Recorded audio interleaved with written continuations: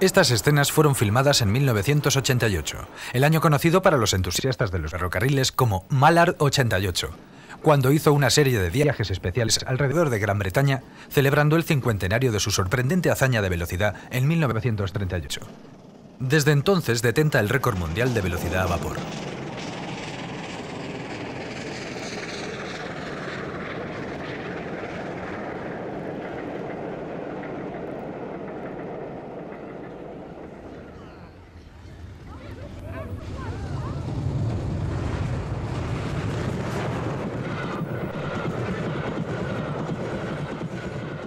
La proeza se logró el domingo 3 de julio de 1938, cuando un tren especial que iba aparentemente a realizar unas supuestas pruebas de frenado fue lanzado a máxima presión de vapor por el famoso tramo descendente de la línea principal de la costa este desde Stoke hasta Peterborough.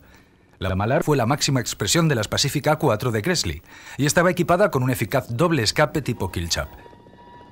Arrastrando un vagón dinamométrico y tres coches dobles articulados del Coronation, la Mallard, con el maquinista Daddington a los mandos, consiguió una medición de 125 millas, 202,7 km hora, la única velocidad certificada por encima de 200 km por hora, la mayor que haya registrado jamás una máquina de vapor. El récord de la Mallard seguirá en pie de por vida, y también ella permanecerá siempre en pie en el museo como la heroína de tal hazaña. Ahora descansa allí de nuevo, con una placa de bronce sobre su caldera que orgullosamente proclama que sigue siendo la máquina de vapor más veloz de todos los tiempos.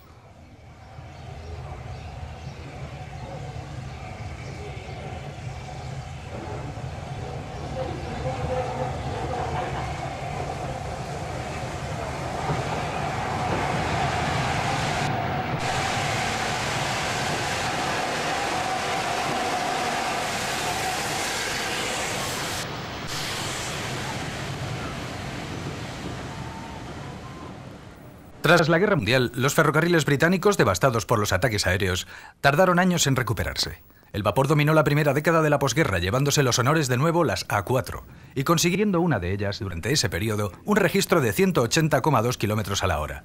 Echemos un último vistazo a la esbelta Mallard en uno de sus viajes finales, antes de dirigirnos a otras naciones para ver la evolución de la velocidad ferroviaria tras el conflicto mundial.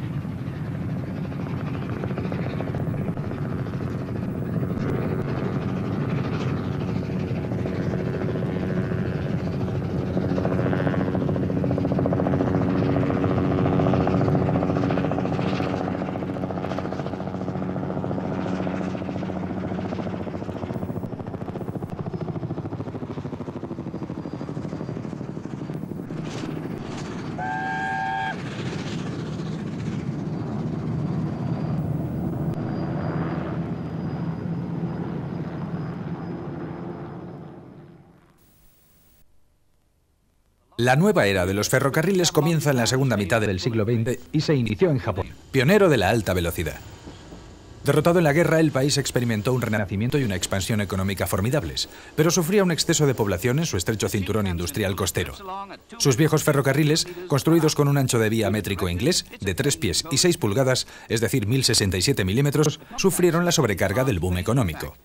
En particular el Tokaido, línea Tokio-Osaka, que disponiendo solo del 3% del kilometraje de la red japonesa, debía soportar casi una cuarta parte del tráfico total. Se tomó una solución drástica, construir un nuevo tendido en el ancho de la vía estándar del resto del mundo. Una vez inaugurada en los Juegos Olímpicos de Tokio en 1964, este nuevo Tokaido se convirtió en una de las maravillas ferroviarias del mundo. El nuevo Tokaido fue diseñado para una velocidad máxima de 210 km por hora y carecía de señalización convencional. Toda la información se representa en una pantalla en cabina. El inmediato éxito condujo a proyectar líneas sin casen adicionales, cuyos trenes eran popularmente conocidos como los trenes bala. La siguiente inauguración tuvo lugar en 1972. Cada nueva línea era capaz de mayores velocidades regulares, alcanzándose los 300 km por hora, 186,2 millas por hora en 1993. En 1991, el récord de velocidad del Shinkansen fue registrado en 336 km por hora, una marca que en esa época ya había sido batida por los trenes europeos, como luego veremos. La otra nación derrotada en la Segunda Guerra Mundial, Alemania, siempre estuvo en la vanguardia ferroviaria. Un prototipo de automotor eléctrico, AEG, consiguió no solo el récord en tracción eléctrica, sino el absoluto de velocidad mundial. Ocurrió en 1903, un año antes de que la humeante City of Truro lograra las primeras 100 millas por hora. Los 210 kilómetros hora que registró el AEG ya nunca serían superados por locomotora de vapor alguna. También fue un evento internacional el que devolvió a la actualidad la velocidad en las vías alemanas con motivo de una exposición internacional celebrada en Múnich en el verano de 1965. Se puso a prueba una locomotora eléctrica E03 en una demostración para la prensa. Esta fue la primera operación no experimental de 200 km por hora en Alemania. La E03 cubriría los 70 kilómetros entre Múnich y Ansberg en 26 minutos justos, de arranque a parada, con una media de 140,8 km por hora. La serie 103, como se denominó finalmente a las hermanas de la E03, fueron las primeras locomotoras de alta velocidad de Alemania en la posguerra. Una de ellas, la 103-118, logró el récord de locomotoras eléctricas alemanas el 13 de septiembre de 1973, con 252,9 km por hora, arrastrando tres vagones experimentales. Pero estos progresos alemanes produjeron algo más, un gran debate nacional sobre el verdadero valor de la alta velocidad. A la Deutsche Bundesbahn le costó obtener permiso para construir líneas de alta velocidad. Una de ellas era la Mannheim-Stuttgart, autorizada en 1977, inaugurada parcialmente en 1987 y no terminada hasta 1991.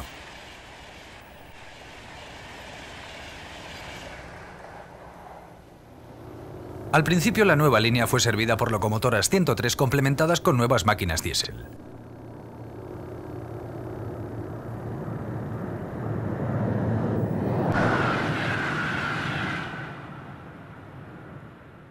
La línea estaba preparada para 300 km por hora, pero su larga gestación obligó a pactar que su uso quedara compartido con trenes de carga y otros convoyes de pasajeros. Sin embargo, se había logrado por fin construir trenes de alta velocidad.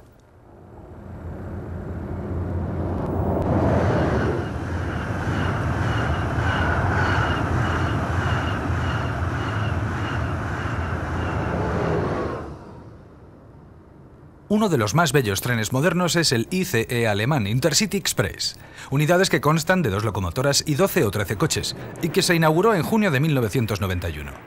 Aquí le vemos discurrir en paralelo a la carretera de Philipsberg al sur de Mannheim.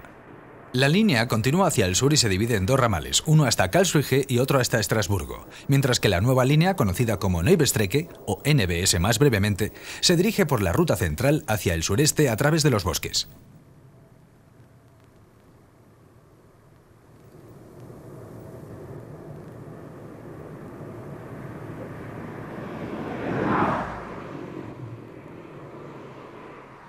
Presiones medioambientales y complejas leyes autonómicas de planificación afectaron al trazado del NBS.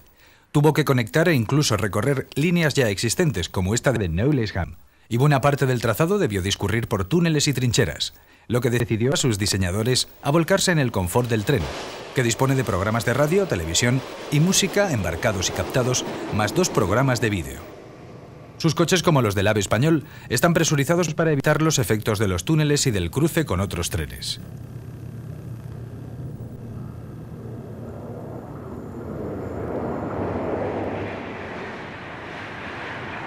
La polémica sobre el Intercity Express parece haber remitido ya. Durante algún tiempo, en la década de los 80, su primera unidad experimental, la ICE, ostentó el récord del mundo con 406,9 km por hora, logrados el 1 de mayo de 1988. Pero como pronto veremos, Francia no tardó en superar esa marca. Volvamos ahora a la vieja enemiga de Alemania, Inglaterra. Durante los años 40, 50 y 60, British Rail tuvo que luchar a fondo para mantener vivos los ferrocarriles en el propio país que los inventó.